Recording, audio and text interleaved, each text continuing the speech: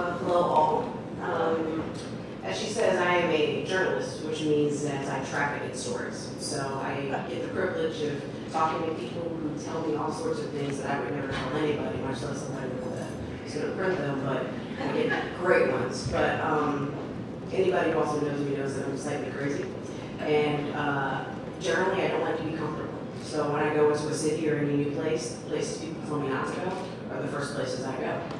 And uh, I have a number of friends that I've made here in the seven years that I've been here that kind of fit that bill. So I'm going to tell you a story about uh, one of my groups of friends that I've managed to uh, hang out with one of my closer groups. So about five, six years ago, I met a friend of mine named who was uh, originally an immigrant from Honduras. Uh, it's a really convoluted story how she got here, but basically her aunt came and her dad came and the rest of the family came and now if you see somebody from Indianapolis who's Honduran, it's probably about a 75% chance they're related. So uh, um, they've been a great family to me. My second family, I'm not from here, I should say. So I don't have anybody here, but I get to go over their houses on holidays and give me as much beer as I want.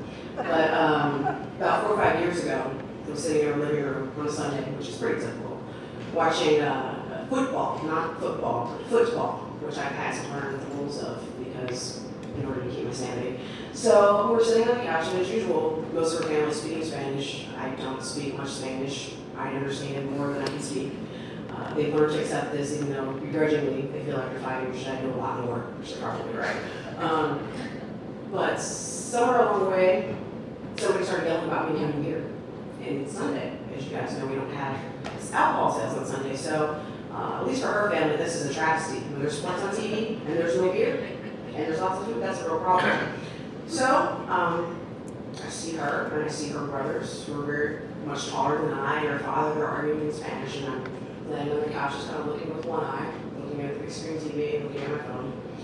And somewhere along the way, they say they're going to go get some beer. And of course, I'm like, I understand that much. You know, like, and of course, this is the part where I like to be uncomfortable and try to figure this out. So I ask, you know, where are you guys going to go get beer? And she looks at me and goes, Erika, you care? And I'm like, well, I'm curious because I want to know. So she hustles me out the door and says to go with her friends. Two friends, mind you, who do not speak any English. Tells me to get in the back seat and she can't go because her son is sick and she, he has to stay there. She says, no, no, no, it'll be fine. I believe her. I mean, I've known her for you know several years at that point.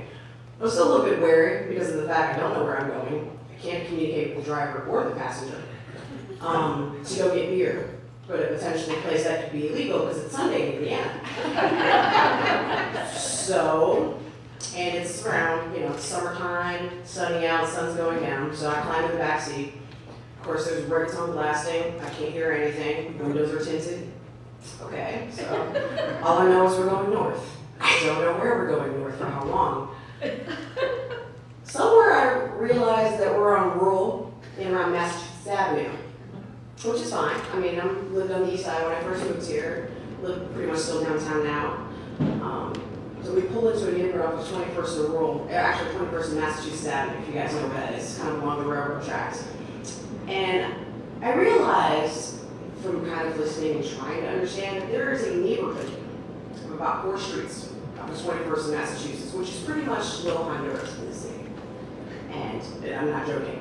You go, and if you have the right car, people know who you are, you can pull down any street. I should demonstrate. Guy pulls down the street, slows down a block. I see people playing outside, kids, music through the tinted windows, still trying to figure out exactly where I am and what I'm doing. And the driver goes a block, goes another block and a half. Tons of people outside. I don't know. Everybody's speaking Spanish. I have no idea what's going on. The guy turns on his lights, turns them on once, turns them on, turns them on another time, turns them off, honks the horn twice. Now, me being from Cleveland, I think, wow, there's a drug deal going on and I'm in the back seat. Which does not make me feel really easy, considering at that time I was a tech columnist for the Star. I'm having visions of losing my job, having to go back to Cleveland, live with my father, which is the worst torture ever. but out comes a guy with a bag, and I'm talking like one of those like Target-sized big bags full of beer. Woman behind him with three plates, three plates of food. woman rolls down the window, in comes all the they toss it back to me in the back seat, and the plates. And I'm like, I remember mumbling something along the lines of, I wonder what's in this plate. And the woman in the front seat turns around and says something me in perfect English. Do you want some plantains? I was just, that's my story.